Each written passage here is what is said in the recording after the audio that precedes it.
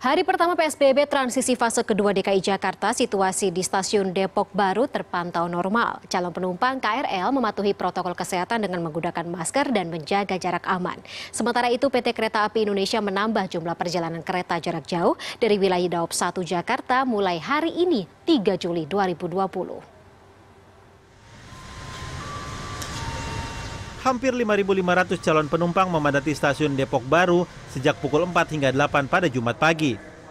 Sekitar 30 petugas gabungan dari PT KCI dan TNI Polri mengatur antrean calon penumpang di pintu masuk, ruang tunggu, dan peron. Selama PSBB transisi DKI Jakarta fase kedua, PT KCI tetap mengoperasikan 892 perjalanan KRL setiap hari mulai pukul 4 pagi hingga 9 malam. Pelanggan KRL diimbau tetap menerapkan sejumlah aturan Salah satunya selalu mengenakan masker dan menjaga jarak aman ketika berada di stasiun dan kereta. Jumlah penumpang dibatasi maksimal 74 orang per kereta. Sementara kereta datang setiap 5 menit. Sama PSBB ini sih jadi lebih kayak karena pemerintah kan juga menyarankan kita untuk physical distancing juga ya mas untuk social distancing juga.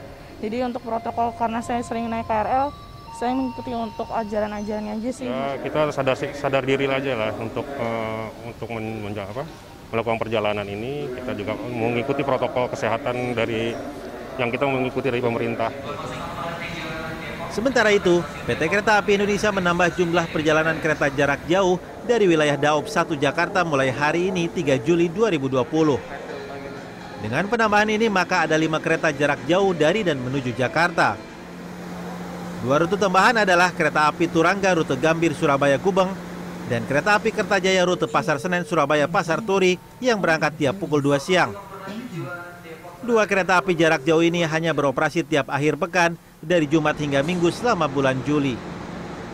Ya, meski semakin banyak perjalanan KA jarak jauh yang beroperasi dari area Daob 1 Jakarta, namun sejumlah upaya untuk pencegahan dari penyebaran COVID-19 tetap dilakukan. Dan kami perlu menghimbau bagi para pengguna jasa untuk yang membawa mungkin anak-anak ataupun bayi ini diwajibkan untuk menyiapkan face shield secara mandiri. Para penumpang diharuskan memiliki surat keterangan negatif COVID-19 baik melalui PCR maupun rapid test.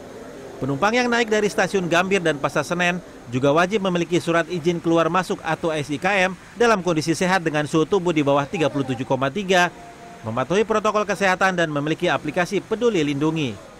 Mau jalan-jalan aja sih sebenarnya, tapi nggak tahu kalau ada persyaratan cek rapidnya. Oke, kita belum sediain.